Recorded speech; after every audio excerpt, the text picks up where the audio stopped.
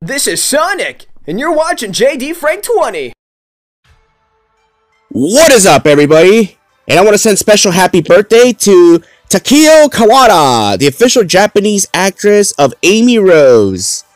She's been playing the role of Amy Rose since 1998, debuting in Sonic Adventure, which is fantastic. Yeah, like seriously, I mean, Taeko Kawata has been Amy's Japanese voice actress for over 26 years since 1998 alongside her colleague Junichi Kanemaru, who's also the same age as she is and has been Sonic's Japanese voice actor for 26 years.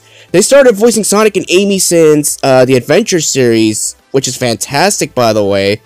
And many Sonic fans weren't even born at the time these two uh, have been voicing Sonic and Amy together. They also voiced their respective characters in the Sonic X series, all the way to Sonic Boom and to Sonic Prime.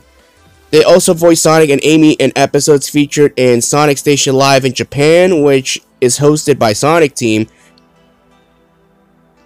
Taeko and Junichi on occasions have been uh, singing karaoke together. Gee, I wonder why Sega never had the brilliant idea of making a video of Sonic and Amy singing karaoke together in Japanese. Sonic fans would go wild for that. This is a stark contrast with America and how they handle the Sonic voice actors and actresses.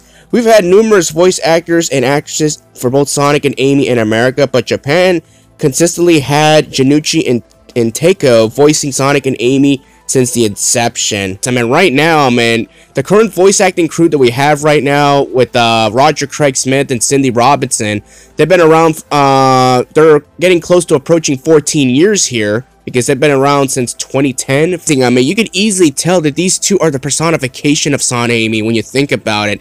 Meanwhile, here in the United States, I mean, again, you have different voice actors that fluctuate. You know, like seriously, I don't even know the name of Amy's voice actress from the Sonic Adventure series. It's the only one I don't really know. Everyone else, you know, where you have uh, Jason and you have Lisa, then you have uh, Roger Craig Smith and Cindy Robinson. Everyone else is just either forgettable or I just don't know. So again, everyone, let me know what y'all think about this. Peace out, everybody.